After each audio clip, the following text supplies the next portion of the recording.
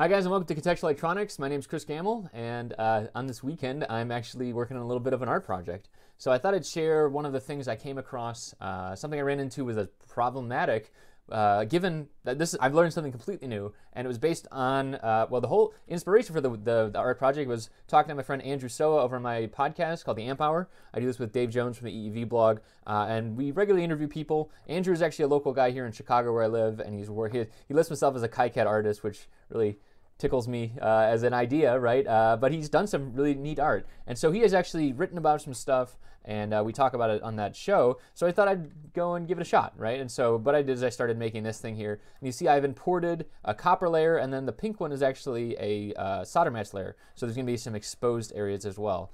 Um, and so basically, uh, I was running through this, and I started thinking like, oh, I wanted to put some LEDs down here, and I wanted to have, uh, you know, basically connect them all together. The thing I ran into is that uh, well, the, the, I went to go export it and there was no cutouts around the LEDs. And I started thinking about, well, why why is that happening? Why why aren't you what you should be seeing is you know a zone cutout around the LED because they're not the same net. And I started playing around the nets and all this other stuff. Excuse me. What I came across is that basically I'm treating this big red copper zone as a huge footprint, right? And that makes sense. I imported a bitmap as a footprint. But what I really want to do is I want to treat it as a zone. And so what I'm going to show you today is actually how to turn a footprint into a zone because what we really want to do is we want to have kind of a bounded zone area that then can though, then go and cut out uh, you know, around an LED or a trace or whatever I have in there. So let's take a look at this. And this actually, again, this is uh, inspired by Andrew because uh, when I went to go search on Google, as one does uh, for KiCad, uh, an answer came up on the KiCad forum. You know, this is a, a forum that we help sponsor with the uh, Contextual Electronics sponsors. Um, Andrew popped right up here. So I'm going to follow through some of the stuff he talks about there. And this is going to involve going into the code of, uh, not the code, but the the files uh, are human readable, right? So all the KiCad files are ASCII based, they're human readable, and they are modifiable. Now, this is kind of an advanced topic. You probably don't want to be doing this if you're starting out right away, but you'll see it's not the, the worst thing in the world. So let's let's take a look here. So uh, first things first, uh, I had created this this large um, this large red area is what we're going to be concerned with here. And what I really want to do is I want to go and create a zone. If you don't know, a zone is, is a filled area, right? It's a a non-copper zone. Uh, what is going on here? Oh, I'm on the wrong layer. There we go. Um, okay, so I'm going to fill a copper zone. I'm going to give it a, a, a net name, right? RX0, I'm going to give it as a net name. And I'm just going to draw a dummy shape here, right? And what you see is when I double click, now I have a filled zone. You probably can't see it. Um, maybe I should do it out here. uh, let's, let's see if we can move this thing over. So we can move this over here. There we go.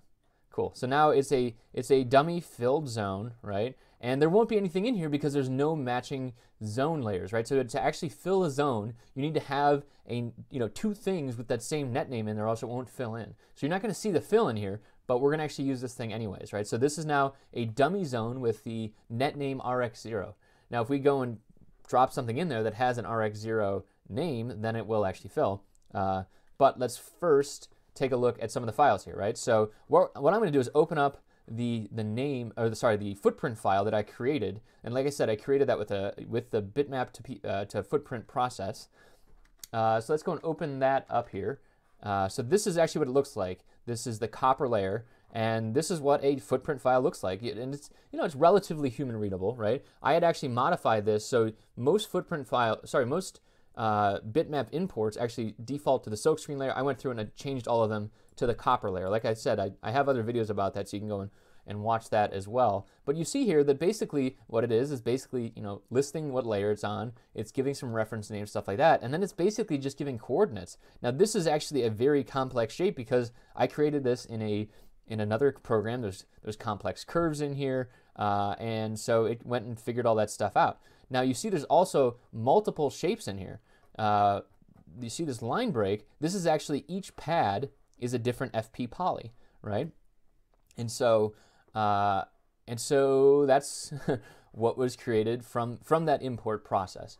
Now what I want to do is I want to go and copy one of these, these footprints uh, and put it into the, uh, the fill zone that I just created. So what I'm going to do is actually save the one I just created because now it has that, that uh, footprint in there. I'm going to close this and then we're going to open up, so let's look at the hardware file here. So now this is my directory with all of the with all of the, the footprints and stuff, and I'm actually going to drop the .KiCad PCB into here, right? So now it opens up as a new file. Now what I'm going to, so now you can see all the stuff that's in here, right? It has all the layers, it has the clearances, yada, yada, yada, yada. What we're really looking for though is a zone. So I'm going to go and search in here search in here for zone, right? You can see I've already searched for it. There's only one zone in this entire thing. This will get much messier later, but you see that this is the zone that I created, right? So it's a zone type, RX layer, RX0 layer, and you could go and change all this stuff, but this is the main thing here, right? I want to go and I want to replace the XY of that, that dummy zone that I added with the zone uh, in here. I'm going to try and guess which one it is. Um, I'm going to guess it's actually, you know, this one. I, I don't actually know which one it is. I'm going to create one of these for all of them. But what I'm going to do is copy all of, the, all of the points here for this polygon and only get the polygon. So it's before the, you see the closing brackets here. So I'm going to copy that. I'm going to copy it into here. Okay. I'm going to save this guy, close it, and then I'm going to open it back up in KiCad and see what happened. All right. So now we see that I actually did copy this top one here, but now this is a zone. You can see there's tons and tons of points here, but it basically replaced all of the, the points that I would have gone and had to copy myself. What I can do now is go and drop this right on top. And now basically instead of having a copper zone, so what I'll do is I'll delete, oops, uh, how do I do this?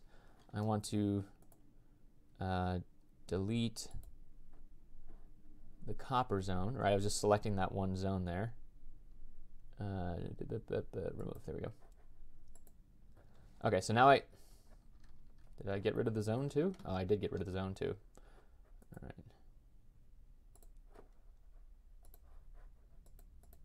There we go. Okay, so now the zone is still up here, right? So you see if I hit B, if I, well, you don't see it, but usually when I right click, I can uh, right click on the zone outline, then I should be able to fill fill the zone, right? So if I hit zones fill, it should fill, right? In this case, though, it actually is not filling because, like I said, there's nothing in there. So let me change the uh, let me change the footprint to ground.